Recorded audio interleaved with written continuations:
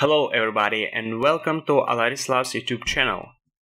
With more and more features appearing in every system release, you have more opportunities to streamline your work process. We also know that in some cases additional information may be required to use them to the full extent.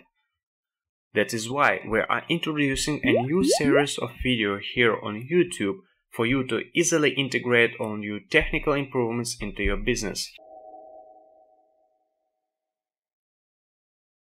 We have analyzed your requests and can conclude that SMS data coding scheme raises a lot of questions. Our system is being actively developed in this direction to meet all the specifications and technical requirements of different platforms. That is why we understand that sometimes it might be difficult to keep all the details in mind. What is character encoding? How many characters can be sent in one SMS? How to define which data coding scheme was used for a particular message. We will try to answer all these questions in this video and hopefully it will help you better understand the subject as well as freely use the functionality that already exists in the system. For your convenience, we have decided to divide all these questions into two videos. In this part, we will describe the theoretical side of this topic and in the second one, the possible configuration in the Alaris SMS platform. You can see now all the questions which will be discussed in these two videos. And now, let's start with the first part. First of all, we would like to specify that two of the most common protocols, SMPP and HTTP, are already supported by the system. So, what is character encoding and how does it work? We will try not to go deep into the technical details and try to describe the process of the data coding overall. In the general case, the data coding is a table where a specific number of characters is contained and to every such character a special code is assigned. That means that every time when we send a message, we do not send the exact text or characters, but only the code which will be decoded in the future by the different equipment. In order to make that possible, both sides should know the pre-approved conditions and the way how to decode this message. On the whole, these pre-arranged agreements are the data coding scheme.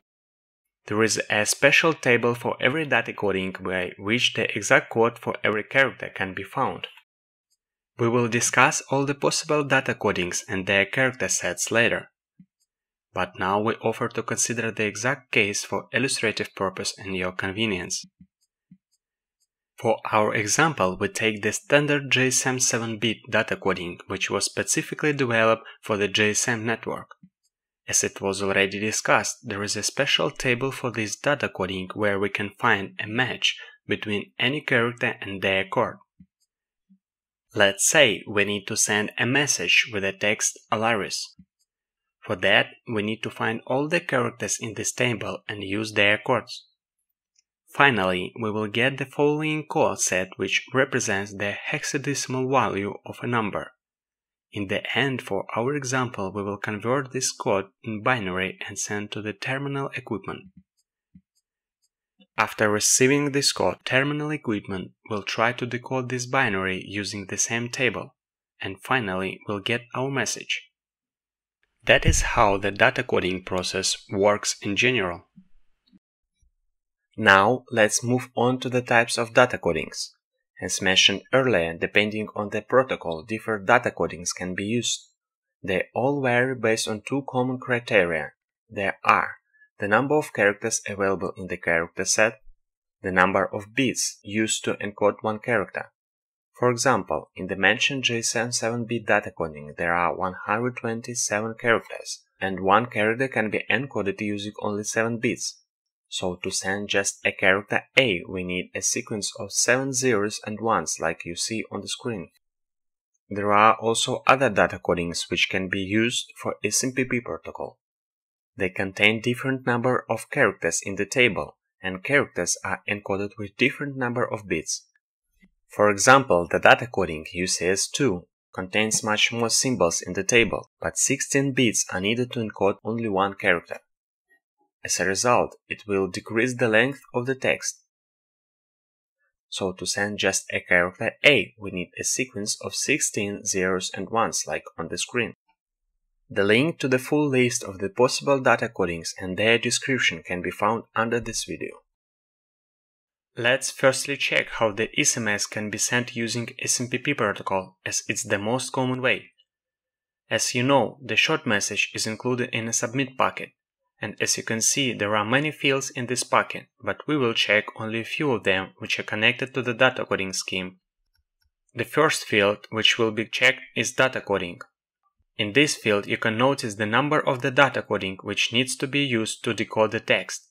That is why the SMS switch before checking and decoding the text checks the field to understand which table with the character set needs to be used to decode the message. As you can notice on the screen, the value of this field can also be found in the EDR in the special column. The next field is message. We will describe technical characteristics deeply to show you in the future how many characters can be sent in one SMS. It is in this field the encoded text which will be sent further is kept. Technically, the SMPP protocol allows for 254 bytes in this field. However, usually this field is not fully populated by the text. The reason is that GSM specification should be also be taken into account. The specification restricts the use of this field to 140 bytes, and the length of the SMS encoded in different data codings directly depends on this limitation. As we specified before, data codings differ in the number of bits needed to encode one character. That is why we need to count how many bits generally we can fit in the message field considering the GSM specification. As you may know, there are 8 bits in 1 byte, and we can use 140 bytes in the message field. So we will get 1120 bits when we will multiply 140 by 8. Now we know the total number of bits needed to encode one character in the GSM 7-bit data coding. We will divide 1120 by 7 and get 160 characters. It means that in case the message is encoded in the data coding GSM 7-bit, it can contain 160 characters. Let's take another data coding UCS2, which was also discussed before. We will divide 1120 by 16, as 16 bits is needed to encode one character using this data coding, and we will get 70 characters. So that is the reason why only 70 characters could be sent in the data coding 8.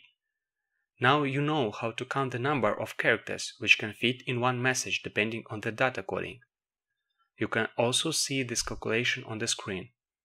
But you can also change this limitation by requesting this from our technical support. There is also another field payload in the submit packet which can be also used for the text sending. Technically, it is possible to fill the data of up to 4 kilobytes, but usually it is not fully filled. So in case your clients need to send a text which is longer than 140 bytes in one message, then this field can be used. This is all important details regarding SMPP protocol for this video. HTTP protocol is different way to send messages and it's much different from the SMPP. As you may know, the message is received as HTTP link, in this link, you can notice the data specified in the special fields. In this lesson, we will describe three fields connected with the text and data coding. These fields are message, long message mode, and data coding. We can start with the message. As you can see on the screen, the text is sent in this field and technically it has no restrictions on the length of the message. But as a standard behavior, the full text cannot be sent as the SMS switch should also take into account the GSM specification. That is why there are several modes which can process long messages differently. Please be aware that the text should be specially encoded using UTF-8 data coding and also URL encoded as you can see on the screen. But further, in this lesson, the text will be presented as a plain text for our convenience. Next field is data coding. Unlike the SMPP protocol, in case the SMS was received by HTTP link, the SMS switch is able to determine the GSM 7-bit data coding automatically. In case all characters in the message text can be found in the GSM 7-bit table, or UCS2 if at least one of the characters from the text was not found in the table. But it is also possible to define the needed data coding, in which the text needs to be transcoded. Your partner can specify the number of the data coding and switch will try to transcode the message. We will go deeper into transcoding in the next part of the lesson. And now we will instigate the long message mode parameter. The first mode is cut. It is the default one, so your partners do not need to specify it in the field long message mode. This mode will automatically shorten the message leaving only first 140 bytes to be sent. That is why the text which was received by this protocol and can be encoded as GSM 7-bit data coding will be automatically cut to 160 characters. But in case there is a character which cannot be encoded as GSM 7-bit, the message will be encoded as UCS2 and will be cut to 70 characters as it was discussed before. The next mode is payload. In case the text length is longer than GSM specification allows, all the text can be sent using the message payload optional field in the submit packet. So after receiving the message in the link with the payload mode chosen, the switch will use message payload field to send it to the vendor. The two remaining modes, split and splitsar, not just pass the message text, but can also divide the message into several parts. Such messages are concatenated. The splitting also depends on the encoding and the division into the parts can be seen on the screen.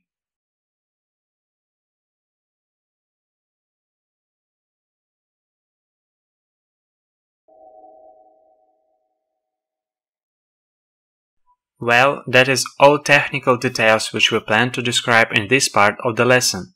In the second part, we will describe the possible data coding configurations in the system the way how you can transcode the messages, and the most common questions regarding their data coding issues.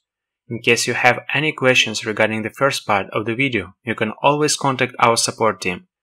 If you have any suggestions regarding the channel development, we will be happy to get them also by the following email. So, see you in the next